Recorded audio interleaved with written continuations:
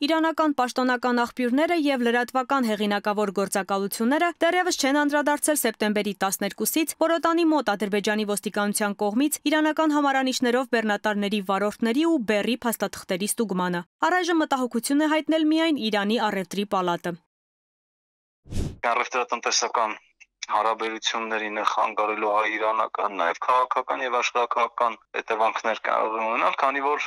սա նաև վնաս է Հայաստանի միջազգային անբավին, քանի որ հայկական տարածքներում, մինչև այս նաև հայկական համարվող տարածքներում օտար երկրա ոստիկանական վերահսկողություն կա, իսկ հայկական կողմից կարծես թե որևէ պաշտոնական լուրջ հայտարարություն այս ուղությամբ գոյություն չունի։ Ադրբեջանը առավելագույն ճնշումն է գործադրում Հայաստանի վրա բոլոր առումներով իր համար ընդունելի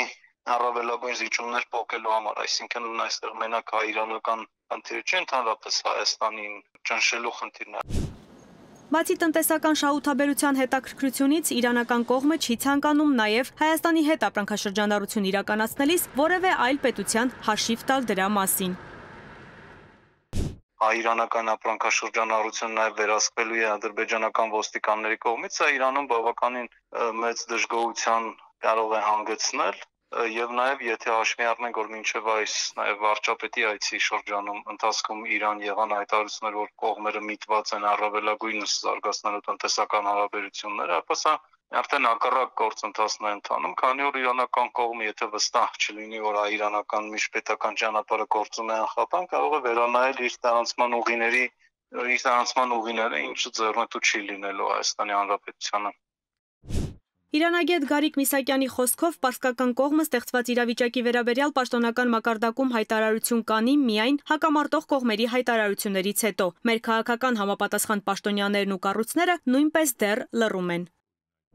իսկ դա ինչքանով կվնասի Ադրբեջան-Իրան հարաբերություններին, ապա չեմ կարծում տեսանելի մակարդակում իրանական կողմը որևէ կերպ փող փորձի սա կապել ընդհանուր Իրան-Ադրբեջան հարաբերությունների հետ, քանի որ առանձին են նախ դրանք դիտարկվում, այ իրանական եւ Իրան-ադրբեջանական հարաբերությունները, երկրորդը եթե հայկական կողմից չեն ընչում հայտարարություններ, ապա իրանական կողմ ստեղծում է տպավորություն, որ հայկական կողմը կամ համաձայնեցրել այս ամենը չի կամ դեմ չի կամ ի վիճակի չէ